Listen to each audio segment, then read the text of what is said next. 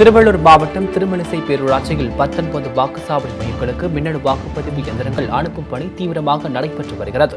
வருகின்ற பத்தொன்பதாம் தேதி நகர்ப்புற உள்ளாட்சி தேர்தல் நடைபெறுவதை ஒட்டி அதற்கான பணிகளில் மாநில தேர்தல் ஆணையம் மும்முரமாக ஈடுபட்டு வருகிறது. இந்த நிலையில் திருவள்ளூர் மாவட்டம் திருமணிசை பேரூராட்சியில் உள்ள பத்தொன்பது வாக்குச்சாவடி மையங்களுக்கு மின்னணு வாக்குப்பதிவு இயந்திரங்கள் அனுப்பும் பணி பலத்த பாதுகாப்புடன் நடைபெற்று வருகிறது. முன்னதாக தேர்தல் அலுவலர் ரவி தலைமையில் தேர்தலில் போட்டியிடும் வேட்பாளர்கள் முன்னிலையில் மின்னணு வாக்கு இயந்திரங்கள் செயல்முறை குறித்து விரிவாக எடுத்துரைக்கப்பட்டது.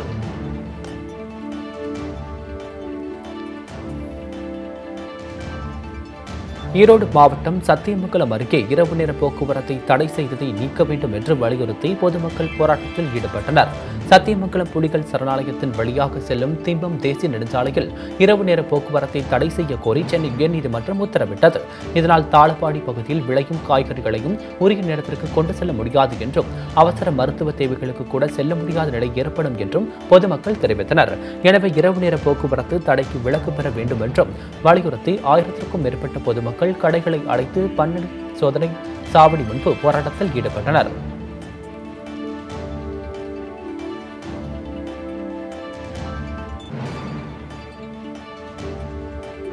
கன்னியாகுமரி மாவட்டம் தக்கலையில் கஞ்சா விற்பனையில் ஈடுபட்ட இளைஞர்களை போலீசார் கைது செய்தனர்.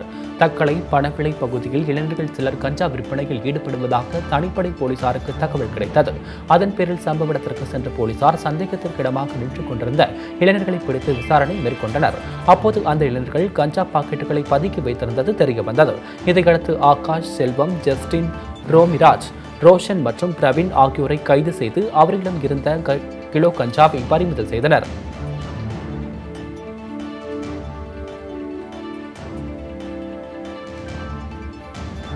கோவை மாவட்டம் வால்பாறையில் சேற்றில் சிக்கிய காட்டெருமையை வனத்துறையினர் பத்திரமாக மீட்டனர். வால்பாறை ஆணைகள் புலிகள் காப்பகத்தில் யானை புலி சிறுத்தை காட்டெருமை உள்ளிட்ட ஏராளமான வனவிலங்குகள் உள்ளன.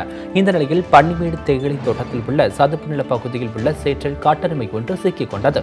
இது குறித்து அளிக்கப்பட்ட தகவலின் பேரில் சம்பவ இடத்திற்கு வந்த வனத்துறையினர் மனிதவன உயிரின மோதல் தடுப்பு பிரிவினர் பல மணி நேரம் போராடி காட்டெருமையை சேற்றில் இருந்து பத்திரமாக மீட்டு வனப்பகுதிக்கு அனுப்பி வைத்தனர்.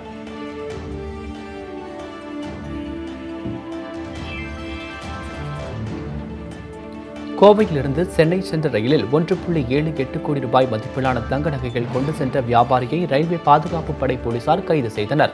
கோவையில் இருந்து சென்னை சென்ற ரயில் ரோ ஈரோடு ரயில் நிலையத்திற்கு வந்தது. அப்போது பணியில் இருந்த சேலம் ரயில்வே பாதுகாப்பு படை போலீசார் ரயிலில் பயணம் செய்த அழகிரி என்பவரை வைத்திருந்த பையை சோதனை செய்தனர். தொடர்ந்து அதில் முப்பத்து ஒன்பது கிராம் எடையுள்ள தங்க நகைகள் இருப்பது தெரிய வந்தது விசாரணையில் உரிய ஆவணங்கள் இன்றி அவர் தங்க நகைகளை சென்னைக்கு விற்பனைக்கு கொண்டு செல்வது தெரிய வந்தது இதையடுத்து ஒன்று புள்ளி ஏழு எட்டு கோடி ரூபாய் மதிப்பிலான பறிமுதல் நகைகளை பறிமுதல் செய்த அதிகாரிகள் வியாபாரியை கைது செய்து சேலம் வரி விதிப்பு அதிகாரியிடம் ஒப்படைத்தனர்.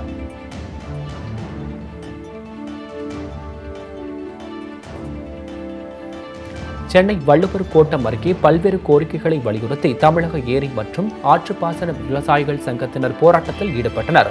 அப்போது காவிரியின் குறுக்கே மேகதாதுவில் அணை கட்டுவதை தடுத்து நிறுத்த வேண்டும். மத்திய அரசு கொண்டு வந்துள்ள புதிய மின்சார திருத்த சட்டத்தை திரும்ப பெற வேண்டும். தமிழகம் முழுவதும் உள்ள அனைத்து ஏரிகளையும் தூர்வாரி புதிய தடுப்பணை கட்ட தமிழக அரசு முன்வர வேண்டும் என்றும் உள்ளிட்ட பல்வேறு கோரிக்கைகளை வலியுறுத்தி கோஷங்களை எழுப்பினர்.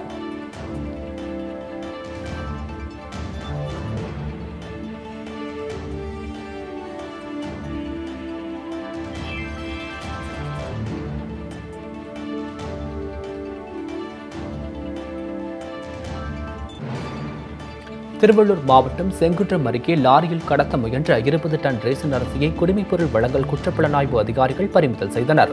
குடிமைப்பொருள் வழங்கல் குற்றப்புலனாய்வுத்துறை டிஜிபி ஆபாஷ் குமார் உத்தரவின் பேரில் அரிசி கோதுமை மண்ணெண்ணெய் உள்ளிட்ட ரேஷன் பொருட்கள் கடத்தலை தடுக்க நடவடிக்கை எடுக்கப்பட்டு வருகிறது.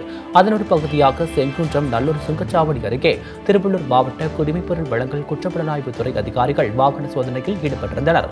அப்போது செங்குன்றத்தில் இருந்து ஆந்திரா நோக்கி சென்ற லாரியை மடக்கி சோதனை செய்தனர். தொடர்ந்து லாரியில் இருபது டன் ரேஷன் அரிசி கடத்தி செல்ல முயன்றது தெரிய வந்தது இதையடுத்து லாரியுடன் ரேசன் அரிசியை பறிமுதல் செய்த அதிகாரிகள் லாரி ஓட்டுநர் சந்திரகுமாரை கைது செய்தனர்.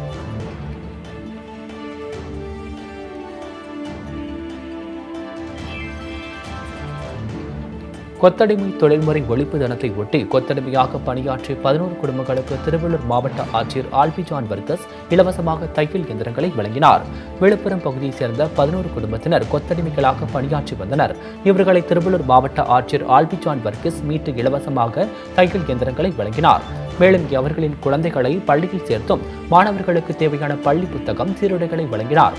இதைத் தொடர்ந்து கொத்தடிமை முறையில் இருந்து விடுவிக்கப்பட்ட பெண் தொழிலாளர்களால் தயாரிக்கப்பட்ட கைத்தறி துணிகளை பார்வையிட்டு விற்பனையை தொடங்கி வைத்தார்.